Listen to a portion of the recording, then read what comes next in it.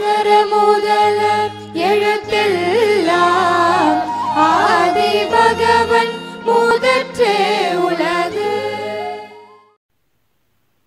வணக்கம். என் பேர் ஆல்வின். நான் உங்களுக்கு ஒரு திருக்குறள் சொல்லவா? அதிகாரம் இருபத்தி மூணு குரலின் டூ டுவெண்ட்டி சிக்ஸ் அற்றார் அழிபசி தீர்த்தல் அஃது வருவன் பெற்றான் பொருள் வைப்பொலி. அப்படின்னா வறியவர்களை அழிக்கும் பசியே தீர்த்து வையுங்க. அதுதான் நீங்க பெற்ற செல்வத்தை சேர்த்து வைக்கிறதற்கு சிறந்த இடம். நன்றி.